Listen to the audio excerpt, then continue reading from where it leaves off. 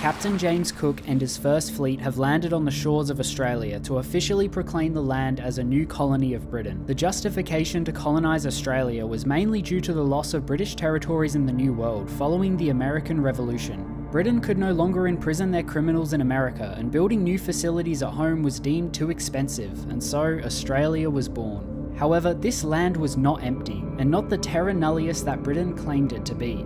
For the past 60,000 years, the island had been inhabited by its native population, and now the British, far more equipped for battle, were here to stay. What followed was a series of massacres in over 500 different locations around the country, where the indigenous population with hunting tools such as spears were no match for the British with guns. Eventually, the British had full control over the island, forcibly separating Indigenous children from their families in what will become to be known as the Stolen Generation. But in this mod, Britain lost World War I, and their control over far flung colonies has diminished, so I attempted to put the Indigenous people back in charge of Australia, fighting off any separatists inside our union, sparking and supporting revolutions across Asia, and coming head to head against an enemy with the long held ambitions of dominating Asia. Hi, I'm Colonel Cam, and welcome to 14 years as Indigenous Australia in Kaiser Redux.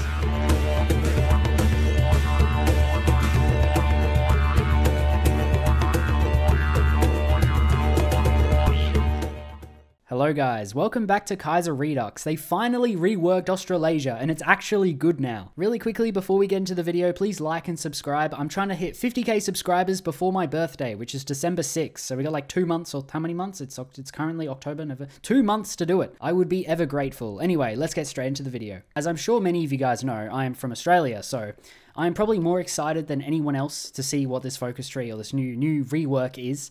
Um, obviously, we're also just not Australia. We're Australia, New Zealand, and Fiji and South Papua. Right now, we're still a colony of Britain, led by the Governor General William Birdwood. He basically just does whatever the king says. Anyway, we have a pretty bad handful of national spirits here. There's only four of them, but they're all pretty devastating. We have an oversized fleet that's actually eating into our consumer goods. Rotting corpse of the Lyons plan. This is some economic plan that failed. We also got this two nations in one. New Zealand wants to become autonomous, but we're not going to let that happen. And white Australia, which basically just means we're incredibly racist.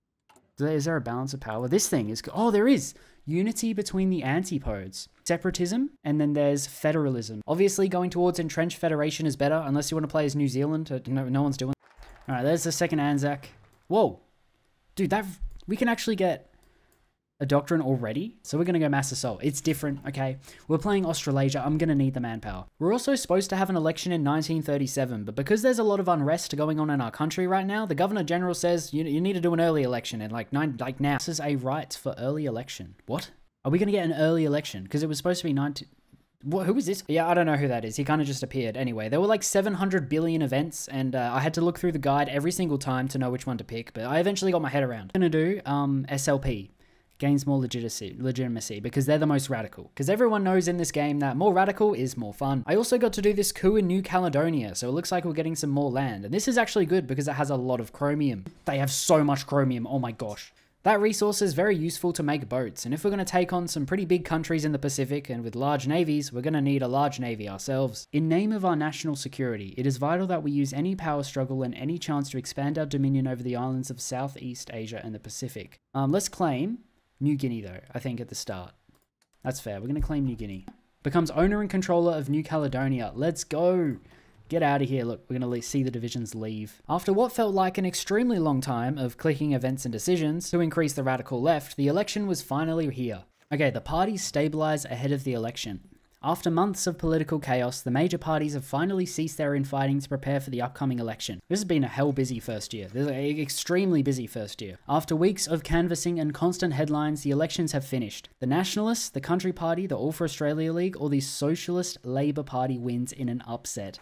We done it. The Socialist Labour Party wins in an upset. Then the New Zealanders got their election. Uh, it doesn't really matter as much because they, we don't plan on giving them any autonomy. But I noticed something interesting. After the election, I elected the most radical left-wing government you could, and, and I noticed that my focus tree changed. Yo, did I wait? Did our focus tree change? I swear our thing changed. The Communist Party seizes the reins. Yo, our thing definitely changed. All right. Rip apart the betrayal of the Lyons plan. Then I got this event with like seven different options. All of them were different governor generals that I had to appoint because Birdwood retired. And it, I'm not going to bore you. It doesn't really matter. I just picked one. The New Zealand gov government sets out it, its agenda. We got a thousand days.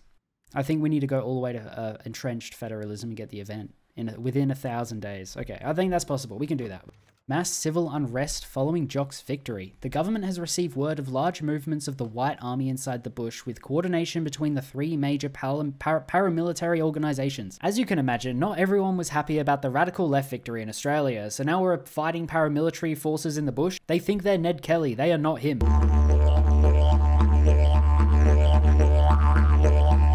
This is when I stumbled across the Indigenous tree or the Indigenous path for Australia, and this was so unique that I immediately knew that this is what I was going to do. Oh my gosh, this is like Indigenous. Oh my gosh. Nah, that's actually crazy. I need to do that path. An end to Terra Nullius. That is so cool. I gotta do this. I gotta, I gotta do it. Okay, anyway. Uh, re repudiate the empires into the American Civil War. Why are they so weak to start? The syndicates.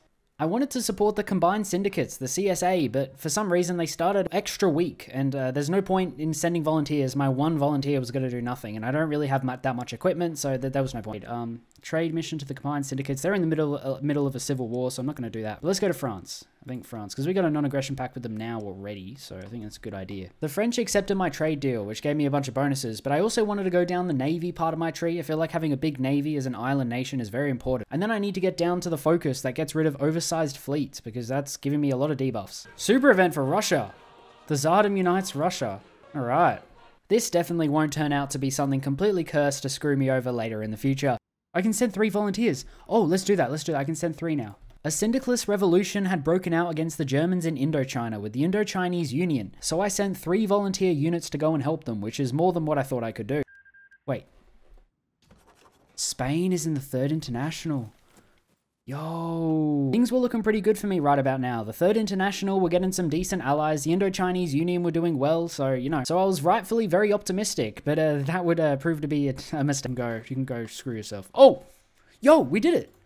The Indo-Chinese Union won. The revolution may be spreading successfully elsewhere, but back home things were a bit rough. You see, the White Army, which are the nationalists, are planning to launch a coup against our government, and in order to successfully defend against the coup, we get a bunch of debuffs. Division training time, monthly population goes down, consumer goods factories 80%, no stability.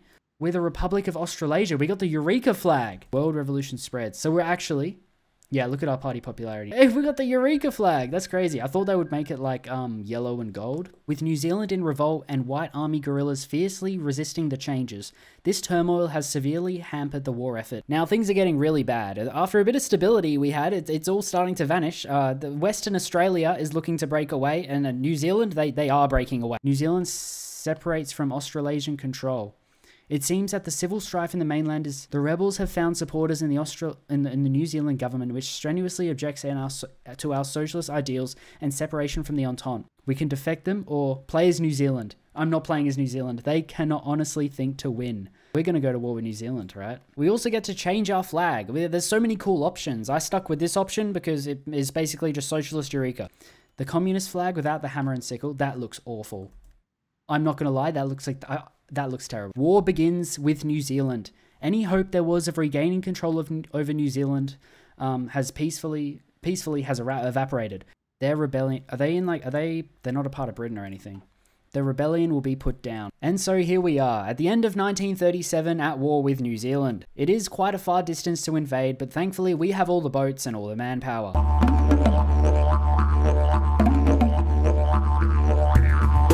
I can. Okay, so I'm going to do 7 instead. As long as they don't all die, we should be okay. But if they do, I do have a save game at the start of this year. After Western Australia had a bit of a sook, my invasion was ready to go, and unfortunately there weren't many divisions guarding the coast. only had a maximum of four. Look at this. They're syndicalists. New Zealand have gone to syndicalism. Why are they against us, man? So New Zealand went syndicalist anyway, and now they want to make peace with us because we're both syndicalists. But it's too late now. It, no, no, we're, we, we, oh, come on, it's too late to go back now. We're, we're landing on their beaches. After going around their divisions for a bit, I managed to get enough victory points for them to capitulate. Come on, we grab that, that should be enough. 99, oh my gosh, just take provinces. There we go. All right, let's take their islands And let's take their navy. Back into the fold. Can we finally become Australasia again? Everyone back to Sydney. The Union of Britain came round to say hi, or some dude from it. Uh, we welcome him with open arms, apparently. And look, funny reference to Emu War. Guys, we need to cull the emus, guys. They, they're taking over artillery. 24 combat with. There we go. That's a division.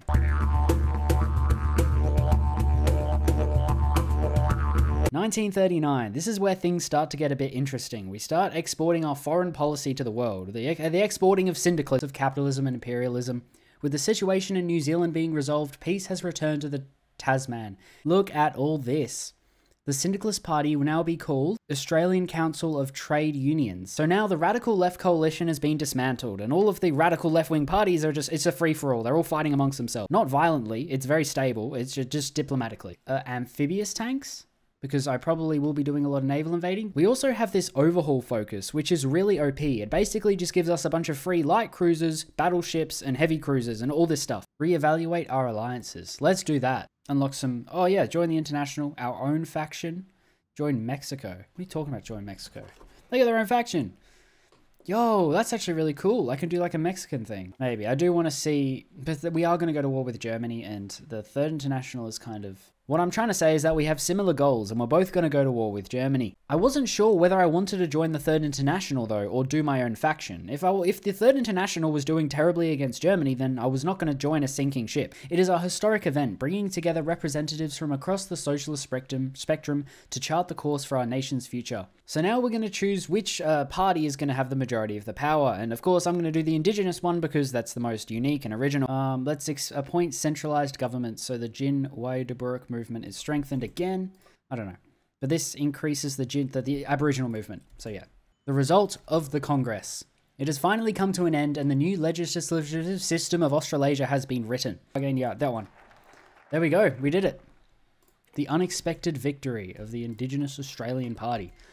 Who is Rex? Who is this guy? This has got to be a real dude. Hang on, I'm searching this guy up. I need to find who this guy. This guy's got to be a real dude. Apparently, he was a poet in real life, and he was obsessed with Aboriginal artwork. You know, like those dot paintings. I don't know, but yeah. So now he's leading the movement. Something. The first thing we did was break the Aboriginal Protection Board, which did the opposite of protect.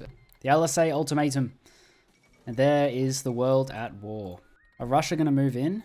Look, the Third International is Spain and Sweden. So you, with Spain, you think that's kind of a big deal. Spain aren't week. I was really leaning on joining the Third International here, but I still wanted to wait, just to make sure, okay? I really wanted to make sure that they were going to win. We actually claim the other half of New Guinea as well. So declaring war on the Dutch East Indies might not be the end of the world. It is something that is I'm thinking about. Oh! Yep. The super events are like a jump scare. That happened a while ago, the, the Entente declaring war on them, and it's a proper jump scare. Bum, ba da da dun, dun, dun. Russian. Oh, no, the two songs are overlapping. Guys, all finished. Wait, we get a capital ships overhaul? Wait, I just got two battle cruisers and four battleships. that is so OP. We now have over 100 boats, which is quite a bit for Australia. I think I should join the Third International. Who are they at war with? The Entente as well.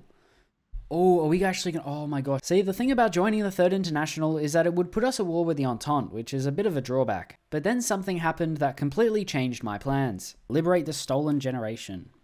8% stability, manpower, and change popularity of social liberalism. Oh, yo, that's the, uh, the uprising we did. With the Dutch East Indies severely weakened by a rebellion going on, they have now become my number one target.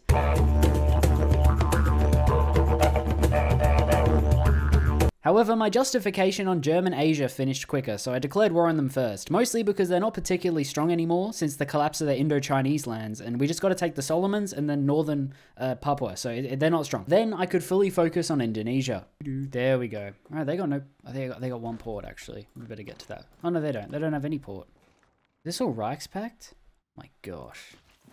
Oh my gosh, it is all these islands. Oh my gosh. We've kind of got a good defensive line of islands around here. I'm kind of happy with that. These are... There's no point. Yeah, I wasn't bothering taking those small islands. They probably don't even have any troops there, and so now I was going to focus on Indonesia for real. However, the rebellion collapsed before I could intervene, but it's fine. I'll beat them anyway. Let's declare war. They're a pup of the Netherlands, so we're going to be at war with the Netherlands. Doesn't matter. Let's go in. I immediately started moving west into the rest of New Guinea and invading random islands. As a landing, hopefully unopposed, come on. I encircled their army in the northwest of New Guinea and at the same time was making my way towards Batavia. Oh my god, we've barely gone down our doctrine. I just realized. Can I um integrate New Guinea once I get that? Or do I need to like own it in a peace deal. I, I, need to own it in a peace deal. Which is kind of annoying because I have to wait for the entire Reichspakt to collapse. And you might have noticed I'm in desperate need of getting manpower. I'm starting to run out. However, there is hope. If I could defeat the Dutch East Indies and then sign a peace deal with the Netherlands, I could get all of the manpower from Indonesia. This is the scary part. When you only attack one province and they just stack the province, it becomes like impossible to beat. Uh, I landed an invasion further up the island chain to hope hopefully trying to encircle the ones below, and hopefully by 1941 I would capitulate the Dutch East Indies.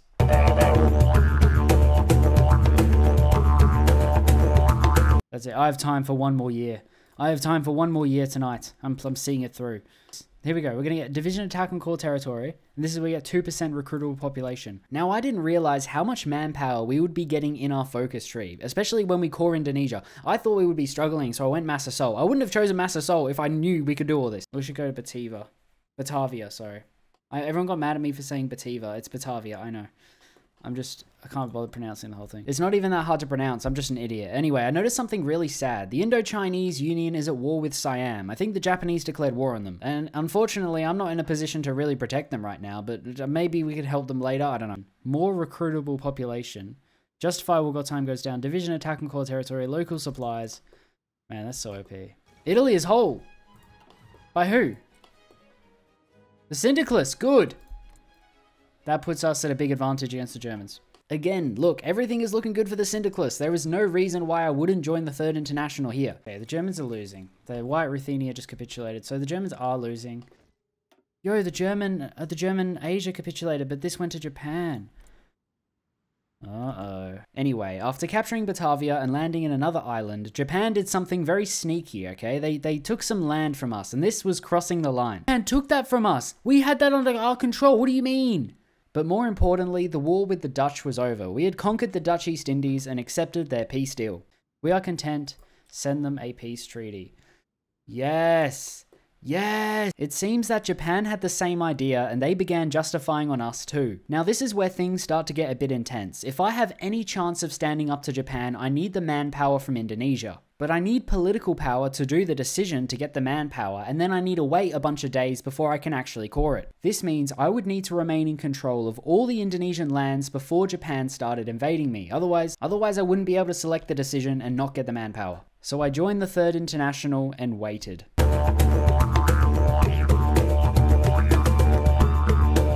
Now, this is actually my second attempt at this year. The first time didn't go so well. I'm just going to give you some brief footage of how things went right here. It, it was not good. I ended up losing control of some Indonesian lands, couldn't get the manpower, and was eventually overrun by the Japanese Navy and armed forces. But now I come back smarter than last time, okay? I know what to do now, and I will hang on to Indonesia no matter what. Back to the start of 1942, I'm going to do a better job, because the job I just did was absolutely horrible. To hang on to Indonesia and get 150 political power get the manpower so we can core it all and the bonuses and the factories and anything. Even with all the insane bonuses we got with our focus tree with our navy, it was not better than the Japanese, so I actually had to properly garrison Indonesia. And like, as long as we guard the Coral Sea, they can't invade New Zealand because they would have to go from these islands here and do a naval invasion through the Coral Sea. And if we can get supremacy in the Coral Sea, then they can't go anywhere. I have a feeling we're going to be able to hold on to Indonesia now. I know what I'm doing. We're going to hold on to it. And so this time I was ready. I braced myself and the Japanese declared war. Just want a little. Okay, he's held that. Do we? We still have the option. We just need five more political power, man. Yes! Integrate Insulindia, all right, Indonesia. We get caught on all of it. And so now all I had to do was wait another 70 days for the decision to actually take effect. But this time I wouldn't have to worry about losing land because the decision was already clicked. So if I lost some Indonesian land, it wouldn't matter. So now I was brave enough to start actually attacking. And this began with northeast uh, New Guinea and in the Bismarck archipelago. 20 days and we get the cores on Indonesia, despite having lost a bunch of it. I finally kicked them out of this island, but little would I know that this island would be the battleground or the site for the most amount of naval invasions I've ever seen done by the Japanese. They would become so obsessed of with getting control over this island, and I would eventually have two, maybe even three whole armies having to defend it. There's the manpower. 3.26 million. Let's go. How many factories? A bunch of factories. And now we're in business. We are in business now. And so there were the cores on Indonesia. Now we can actually put up a fight. We also got these elections, so we don't have to have the Indigenous Party anymore. So I decided to go the Communist Party because they were the most radical. We'll just go Communist. We're on Communist Party. Who's in charge? Jack Kavanagh. Alright, we're changing the flag as well. And there's also a whole nother front that I forgot to mention. We had actually captured Singapore. They, yeah, we were capturing and holding Singapore. We began pushing out of Singapore, and Siam hadn't actually been called into the war yet, so they, these divisions were all encircled. Oh, we're actually doing well. We're doing much better. Yep, alright, cool. Um, now, we aren't actually... We don't have to go to war with Siam. But that would not stop the invasions. In fact, there were three more invasions that just continued until the end of this year, like out of nowhere. They had somehow got supremacy over the Coral Sea, and they landed in New Zealand. Oh,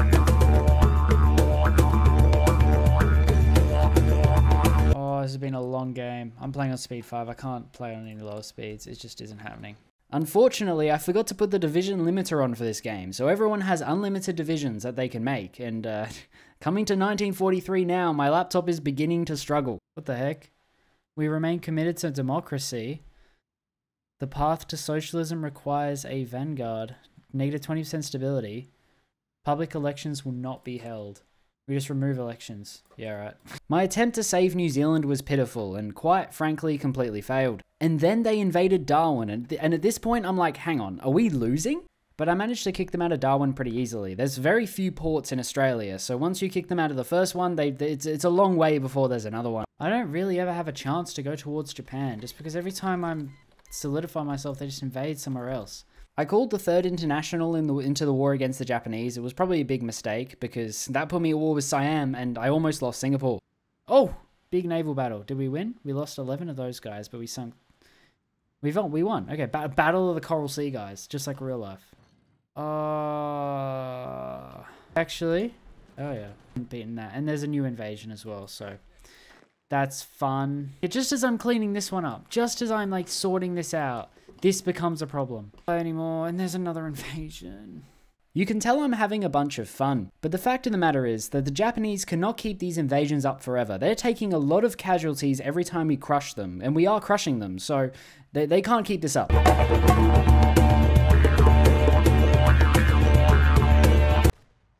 This is totally fun. Can I get this guy to move and attack finally? Thank you. And then I got the strangest event I think I've ever seen. Well, maybe not, uh, maybe not ever seen. This is Kaiser Redux, but yeah, this is this was insane. We get cores on Canada. Unite the two connected movements.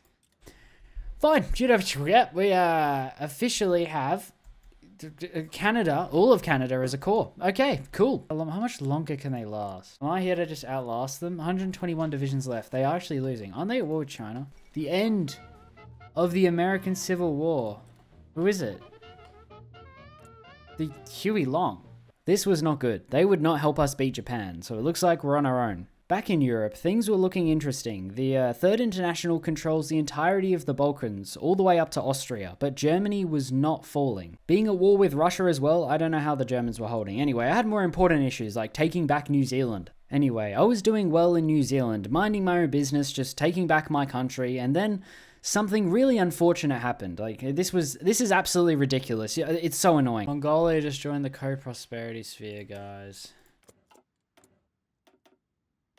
Mongolia. What? What? What? What? Fall of Paris? No! What? This was unbelievable. I genuinely had to step away from the game just because how much it screwed me over. It's like Kaiser Redux is just how much can this game screw me over. And the worst part is, the Third International aren't even at war with Russia. What are they doing losing to Germany already? They choked a lead where they took over the entirety of the Balkans, they got the whole of Italy, and they still can't beat Germany. Russia joining the co-prosperity sphere? What is that? What kind of bad luck do I have to have for that to happen? And so being at war with Russia now, I, I don't think I can outlast them anymore. Way more divisions. Gone. Even after the Third International got all of the Balkans, Italy, they've managed to choke. They've managed to choke it. And now I'm uh, really regretting my decision to join the Third International. The Third International has the Ottoman Empire, by the way, and they're still losing to Germany. I, I, I don't understand. If France and Britain fall, that means I would go down along with them because I'm not a major, so I would be in the peace deal. There is quite literally nothing I can do except send my navy over to the English Channel and hope that that would be enough to stop them invading Britain. On some better news, I managed to push into Bangkok. Uh, I, I, I wouldn't capitulate Siam in the end, but it, I mean, it was something. I actually have convoys now. I'm producing them believe it or not. I like upped my production of convoys, as you can see. I got two. All of my dockyards are going towards convoys because that was that's what I was down, and that's I think that's why my divisions weren't going. France just capitulated, man. They actually are losing to Germany. Oh, I forgot how bad Germany. I mean, how bad the internationals doing. Despite the inevitability of losing, I would continue to make encirclements and drain Japanese manpower. But with the realization that their ally in China would take over all of it and then core all of China, there was genuinely no hope. Let him. Let him. Dude, I look uh, at the, the, the invasion that we just crushed, that happened like maybe 30 seconds ago. Like in real life, that happened maybe 30 seconds ago. Now we're already getting, look how much they've already spread out for this invasion. It's ridiculous. Dude, how many casualties have they, have they taken? 7 million. And they're just still going. It's training another 60 divisions, as you do. Might as well. What, are they going to do a fourth one up here now too? I might have to bring another army over. I made a joke about they're going to do a fourth one up here, and guess what? They're doing a fourth one up here. They actually are. And guess what? I crushed all four of those invasions, but the Japanese would still not stop. That would not be enough. They would not take enough, enough casualties ever. I'm sure this time it'll work, Japan. I'm sure this time it'll work. Yeah, yeah, yeah. This time, not for sure. This time. I'm not a major. If Britain gets invaded, it's over. Like, I lose. And by 1949, I genuinely gave up. I just let the game run and walked away from my computer. And I, of course, I wasn't there to defend the invasion, so I eventually would lose. But I was going to lose anyway, because Britain would eventually get invaded and capitulate. Yeah, no, I'm not playing Beyond here. This is ridiculous. Alright, that's it. But that would not be it because I wanted to try one last ditch attempt at a good game, and that would mean going back to a save from 1939. Back to the point where I was deciding whether to join the Third International or create my own faction, and this time I wanted to create my own faction to see what would happen. The idea was to create an Oceanic International with me, Indochina, and the Indian Commune. Unfortunately, there was no way that I could get anyone into my faction, and there was no way to even cheat to do it. The best I could do was guarantee the Indo-Chinese Union, but even then, the game would find a way to screw me over, like put the Indo-Chinese Union at war against a country in India, and then they would never ever be able to be guaranteed, because you can't guarantee a country that is at war, and the Indonesian uprising is completely random, so I could never predict when it was going to happen, and so I would try and rush it, and then when I got the, to the peace deal, they would take half the land, and I couldn't, I would have a truce with them, it'd just be annoying. Unfortunately, I think I just got really unlucky with my games this week. I don't know why. Kaiser Redux has always screwed me over, but then I'll remember to do the division limiter because my game doesn't run slowly. However, there was this cool button, the Pan-Pacific Union, and I wanted to know what happened when it was clicked, and that was if I annexed Canada. I can just do it. Oh, it's literally just Canada. So that's how you do the Pan-Pacific Union. Anyway, thank you guys so much for watching. The next video is TNO, so leave some comments suggesting a country for me to play in TNO, and I'll see you guys in the next one.